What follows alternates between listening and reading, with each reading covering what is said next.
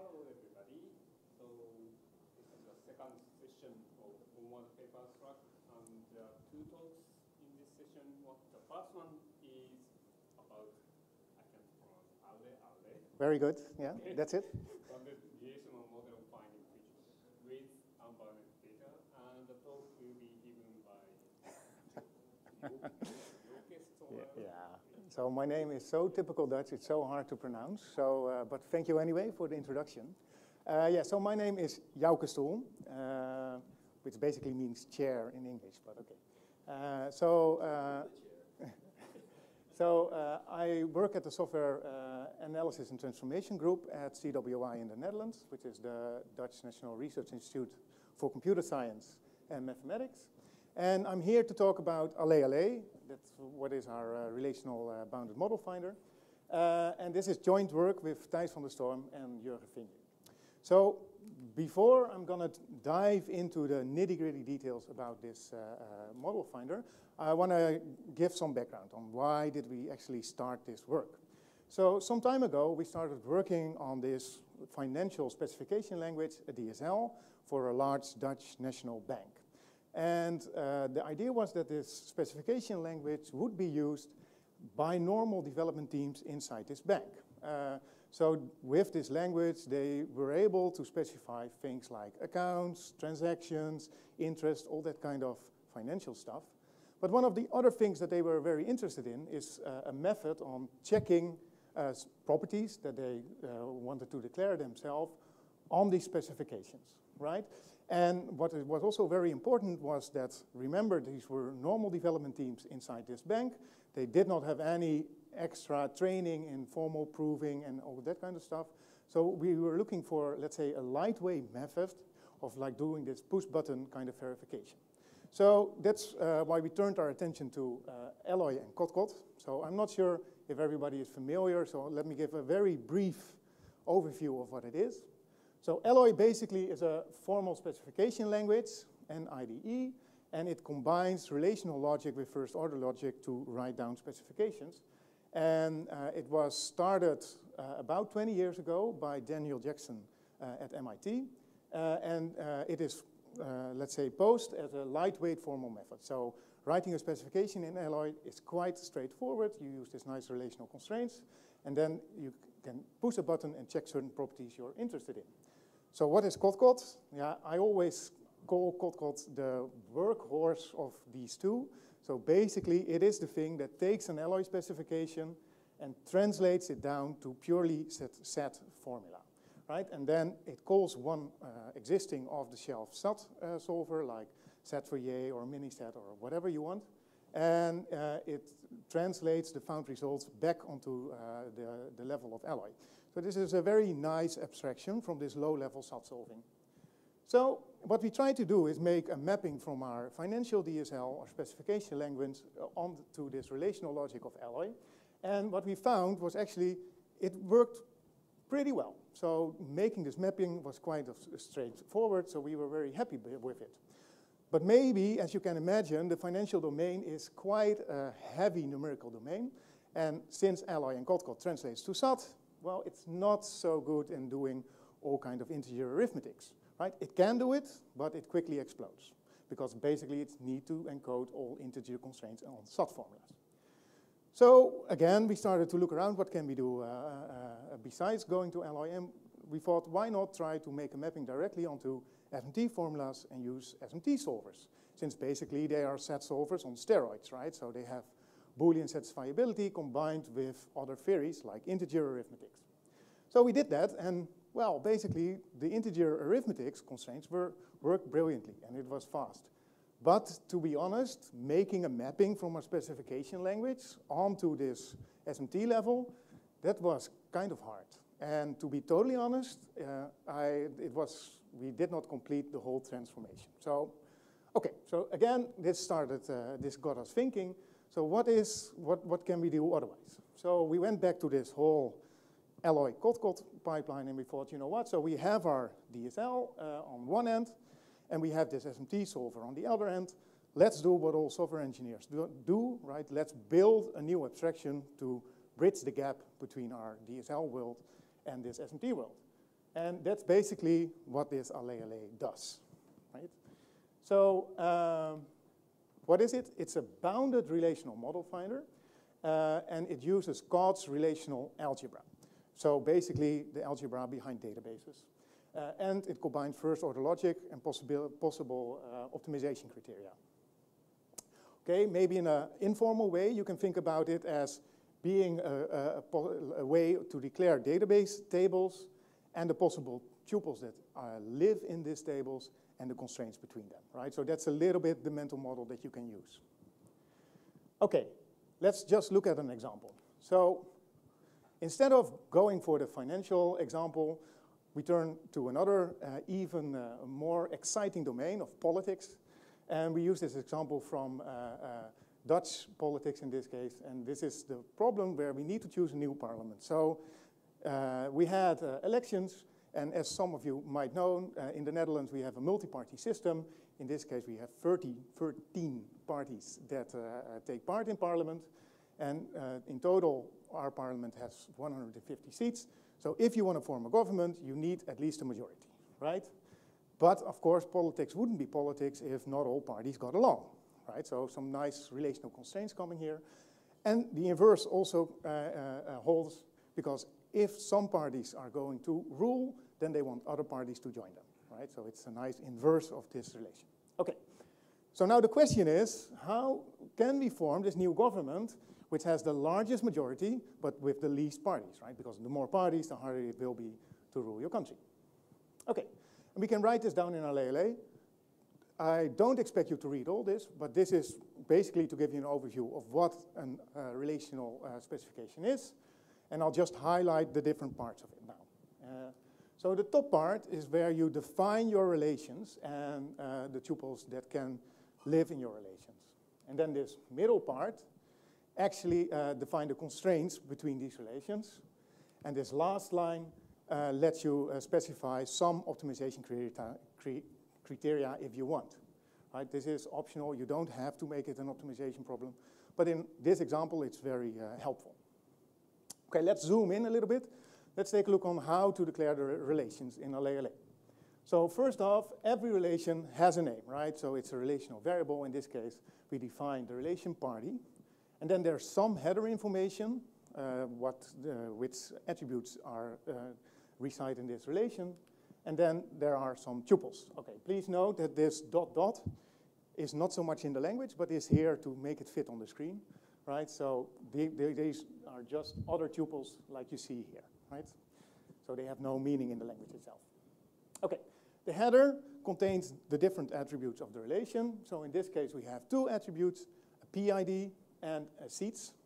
And this PID, all uh, attributes have a domain or a type as well. So in this case, this PID has the type ID, which is a built-in domain, but it's just uh, a set of arbitrary chosen labels, and it contains exactly those values as that you use in your specification, not more than that, right? So it's just strings that you choose, but it makes modeling easy. And then this other one, this integer, uh, is basically the domain of mathematical integers as it is defined on the lower level SMT uh, level. So this maps directly onto the integers in the SMT solver. So and at this moment, uh, we only support this integer here, but with the uh, mechanisms that I'm going to talk about, we can just as well cover strings or reals or bit vectors or whatever other theories that are there in our SMT solver as long as it, uh, as it has this built-in Uh, uh, reasoning uh, theory on these different types, right? Okay, and then there's one last piece, that's this uh, equal sign. That's basically how we define the bounds of our relation. So in this case, what we see here, the equal sign just says, whatever is there on the right side, so here, that is exactly those tuples that I want in my relation. So whatever satisfying instance I'm going to find, these tuples, they must be there. So the lower is equal to the upper bound, right? But we can also uh, define it in a different way, and that's with this uh, uh, lesser than or equal sign. And then it lets us define the upper bound of the relation. So in this case, we say uh, satisfying instance may contain any or all or none of these tuples that are defined on the right side. Yeah? And then we can do a combination of those two where we define partly the lower bound and the upper bound. So what does defining the lower bound mean? Again, these tuples must be there in every satisfying instance. So this basically lets us encode partial solutions up front in our model that we built.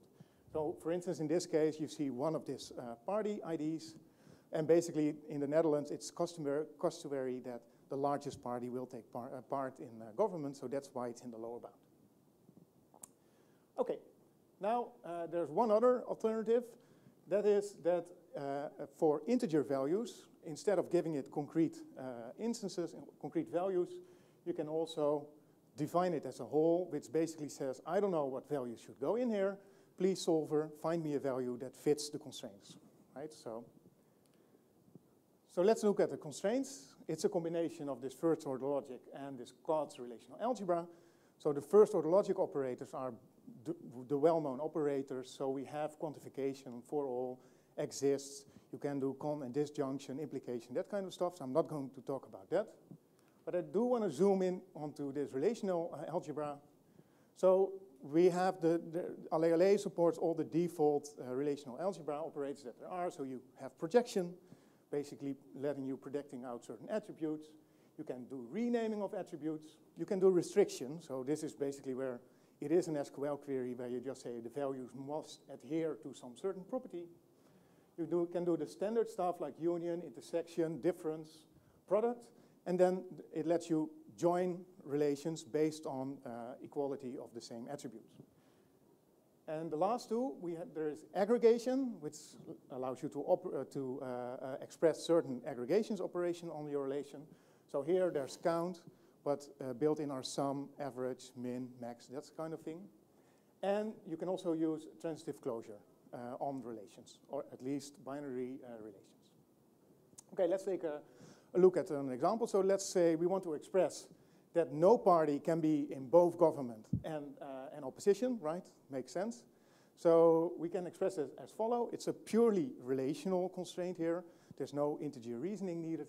But uh, what we do here is we take the intersection of the government relation with the opposition, and then we force it to say, okay, this re new relation, this intersection, should not have any tuples, right? So this is the constraint. Uh, that, so that we can state. Okay, let's take a look at another one. So government must hold a majority of seats. So how can we express that? So this is a little bit a longer constraint, and I'm going to work it bottom up. So I'm going to explain the innermost expression first. And in this case, it's this natural join. So uh, maybe you remember, or maybe not, doesn't matter. The government relation is defined only with this PID attribute, and the party is defined with PID uh, uh, and seats attribute. So we want to reason about this seats attribute. That means that we have to join both relations. So we get a new relation for P with uh, PID and seats, but basically we get all the tuples that are uh, parties that are in government.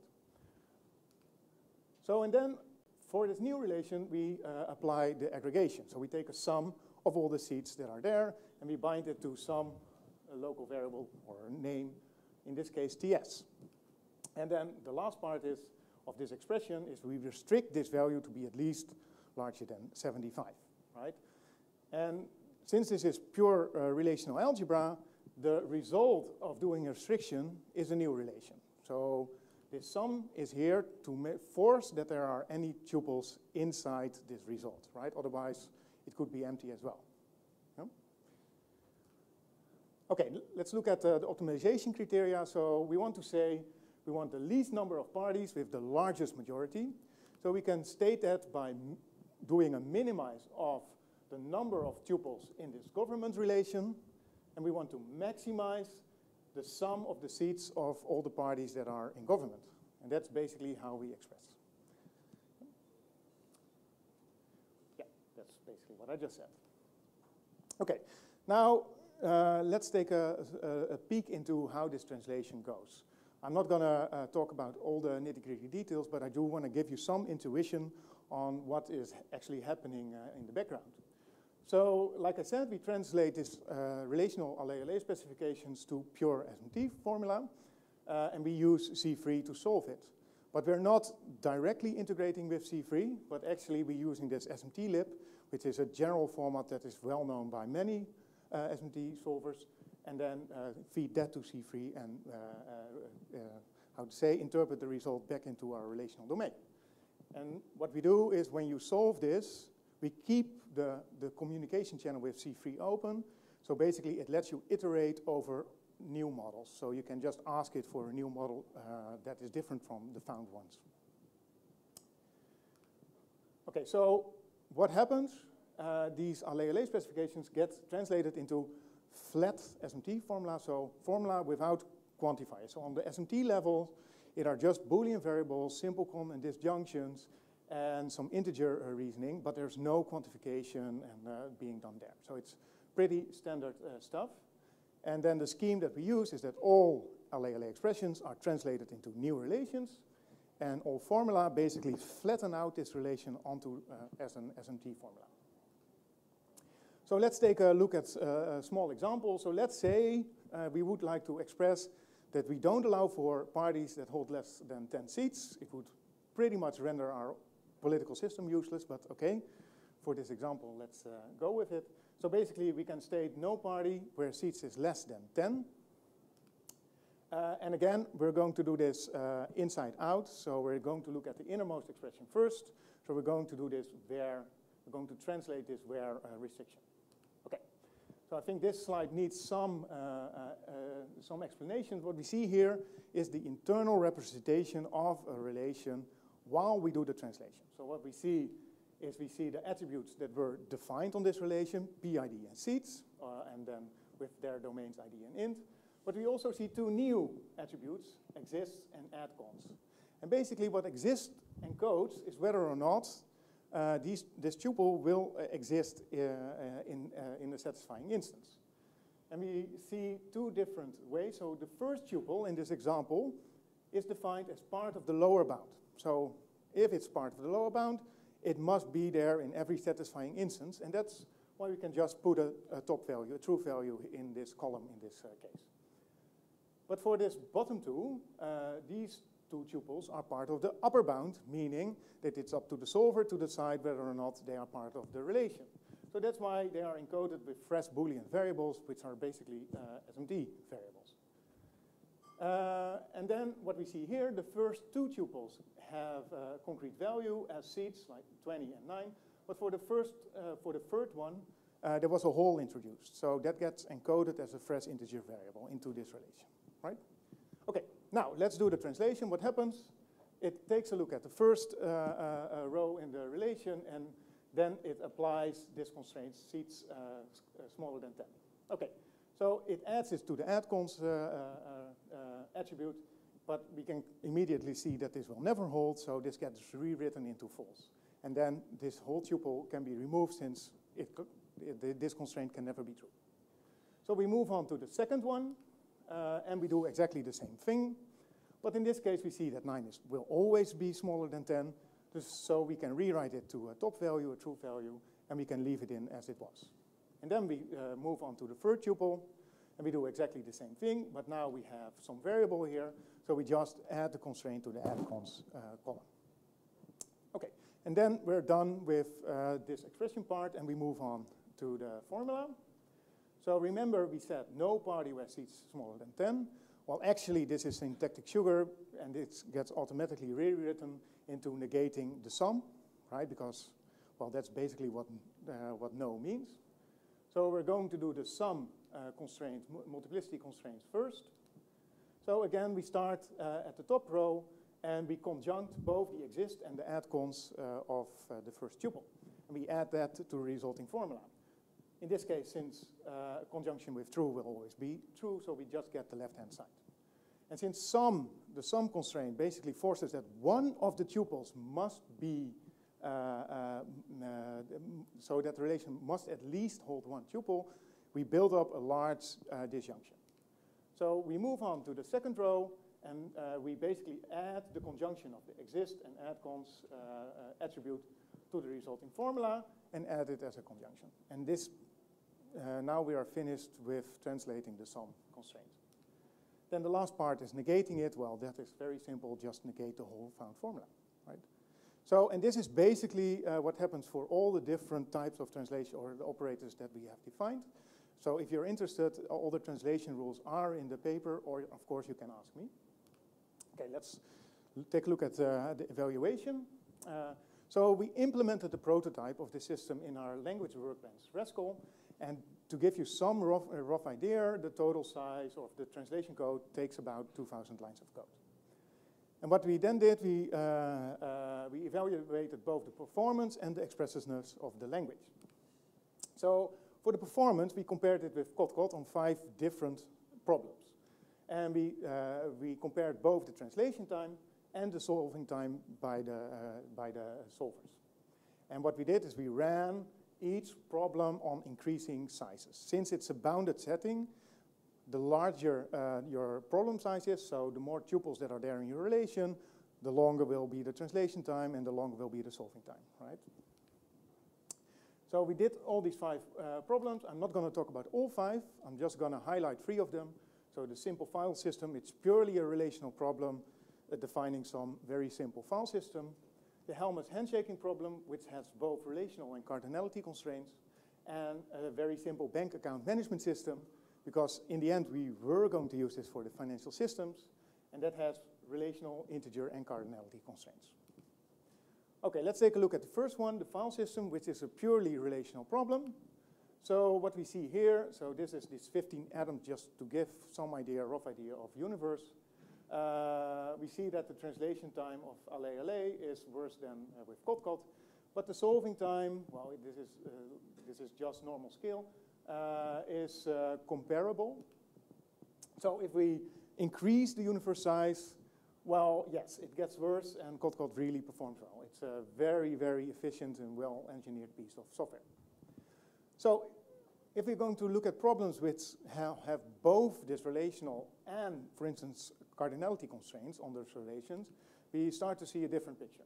So again, for small universes with a, a small bit width, so this bit width here is uh, needed for Kodkod because you have to tell it how large the integer numbers are that it can actually generate, right? So this bit width has no value for Ale because for us it's just infinite integers. The SMT solver is not, uh, uh, doesn't care. But uh, it is important for Kodkod since it needs to basically uh, generate for all possible integers. So still for some from smaller uh, uh, examples, um, AlleAlle performs worse. But if we increase the universe size, then we see that the translation time uh, is overtaken by actually the solving time. So in this case, uh, the Z3 is much quicker in being able to solve these combined problems. And now, uh, clearly, Kodkod and the solver is uh, having problems. And this gets even worse if we really do integer constraints in our uh, specifications.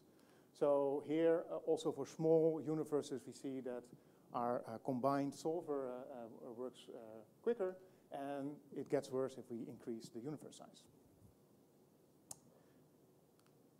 Okay, and also we did a, a, small evaluation on the expressiveness. What we did is we encoded the optimal dependency resolution problem in Ale. Basically, that's the problem that package managers solve on our system. So we have some configuration, we want to install or remove some packages, and we want to basically minimize uh, the changes to our system. And actually, there used to be a solver competition uh, that ran up until 2012, where they actually compared different solvers that solved this problem. And what we did is we took all these uh, problems and we uh, built a, a LLA specification and ran, uh, uh, ran basically solved this package problem. So what we found, again, don't read this, but this is the constraints that are needed, and, and but it is also all the constraints that are needed to encode this problem. And in total, it were about 44 lines of code. So it's like 30 lines on constraints, 14 on relation definitions. And all the found solutions were both correct and optimal. So compared with this uh, uh, benchmark, uh, they were uh, in, uh, exactly the same. And again, we saw that translation time could be improved. But the SMT solving times, uh, they were actually on par with what we saw there in, in the benchmark. Okay, so to conclude, uh, ALE that is our uh, new take on the relational model finding utilizing SMT solvers. Uh, you can express problems using first order logic and Codd's relational algebra. Uh, although translation uh, uh, can see improvement, we see that actually the solver uh, can pretty much often efficiently solve the problems that are generated. With that, it's the end of my presentation. Thank you, and I'm happy to take questions.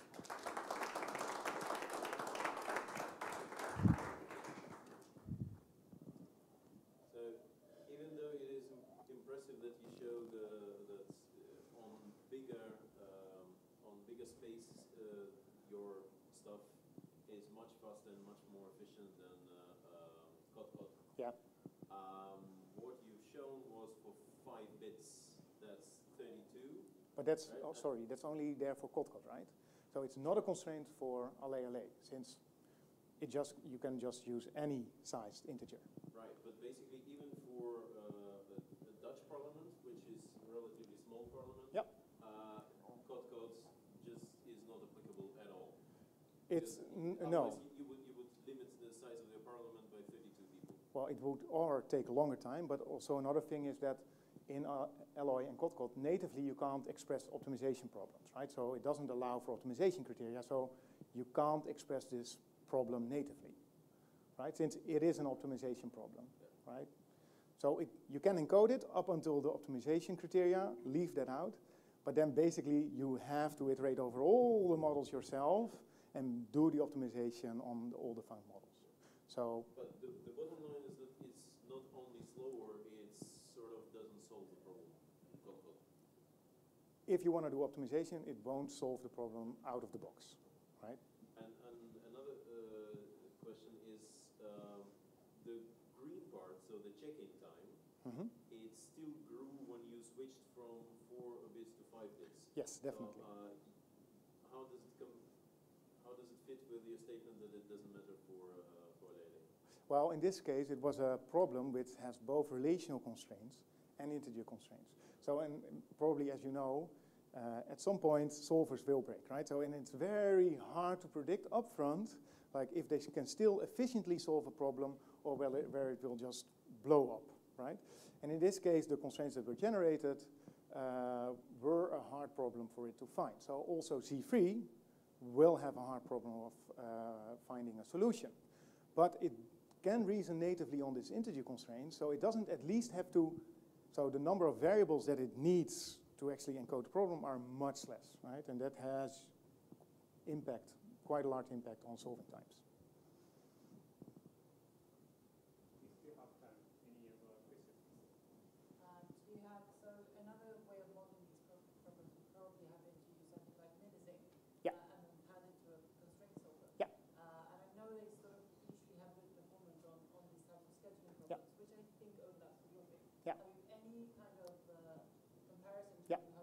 Yes. Uh, so uh, I did not talk about it, but what we also did is compare it on a little bit on Choco. So it's another constraint solver, right? Uh, and then just check whether or not the things that you could express in a Choco constraint problem, could you also express it in a LALA, and would they find the same solutions? And the answer so far is yes. but what you, so I'm not an expert on uh, constraint programming, but in constraint programming, if you want to express a problem, you need to adhere to the primitives of the constraint programming uh, solver that you use, right? So if you can encode your problem exactly in those idioms that the constraint uh, programming system uh, gives you, then it's often very, very efficient. So for the, what is it, uh, uh, like, like um, um, sorry? For all different, exactly. So it has built-in things, heuristics to do this kind of thing, right? So. Yes, but uh, I think on expressiveness level, it is very much comparable.